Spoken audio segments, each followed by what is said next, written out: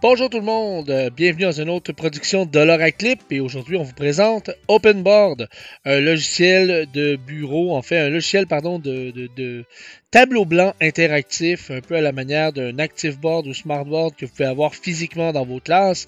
En fait c'est le côté donc logiciel de la chose. Alors on va vous présenter dans une première vidéo qu'est-ce que c'est et un peu la façon de le télécharger et de l'installer tout à fait gratuitement. Et dans une seconde vidéo, en fait, on va faire le tour des euh, fonctions de base que vous pouvez retrouver dans ce logiciel. Alors, sans plus attendre, allons voir où est-ce qu'on peut euh, télécharger ce logiciel. Alors, vous avez qu'à aller sur le site openboard.ch et euh, c'est très minimaliste. En fait, OpenBoard est une solution non seulement gratuite, mais open source. Donc, vous pouvez le télécharger gratuitement en cliquant au centre de l'écran sur télécharger OpenBoard gratuitement. Vous noterez en fait que c'est disponible sous Windows, macOS et Linux. Donc si vous cliquez ici, on vous donnera en fait l'option pour le type euh, de plateforme que vous utilisez, le type de système d'exploitation que vous avez. Alors concrètement, qu'est-ce que c'est OpenBoard? En fait, OpenBoard, comme vous le voyez à l'écran, c'est un peu ce que j'utilise pour les Dollaraclip. Euh, c'est un logiciel de euh, bureau, en fait, de, tableau blanc. Et puis, si je vous donne un exemple, évidemment, si je vais combiner ça avec peut-être une tablette graphique, ben, je peux facilement, à l'écran, euh, rédiger du texte avec aisance.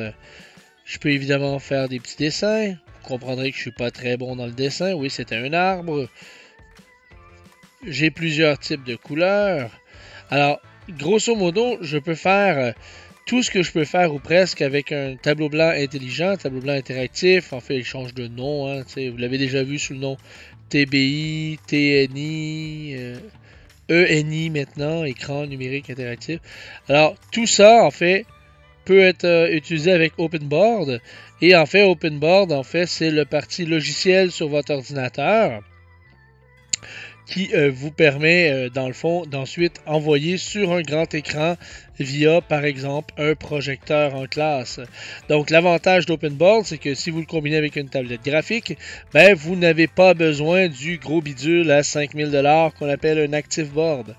Euh, malheureusement, d'ailleurs, ActiveBoard et SmartBoard, dans leur licence d'utilisation maintenant, interdit l'utilisation d'Active de OpenBoard. En fait, ils ne veulent tellement pas que vous utilisiez un autre logiciel que le leur. En fait, qu'ils ont inscrit dans leur licence d'utilisation que pour utiliser leur gros bidule super cher qui est vissé à votre mur, ben vous devez utiliser leur logiciel. Donc, si c'est votre cas, n'allez pas vers OpenBoard, mais utilisez plutôt euh, la solution qui vient avec votre bidule.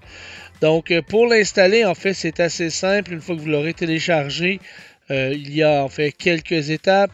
Donc, comme je vous disais, première chose, on télécharge. Ensuite, on exécute. Et attention, ça prend des droits administrateurs. Donc, vous allez avoir un fameux petit écran qui vous demande êtes-vous bien sûr, vous faites oui. Ce qui veut dire que si vous êtes par exemple dans une commission scolaire, il y a des bonnes chances que vous n'ayez pas les droits pour installer ce logiciel. Ensuite, ben, vous faites, euh, honnêtement, c'est très simple, vous faites le bouton suivant euh, jusqu'à la fin et ça va s'installer tout seul.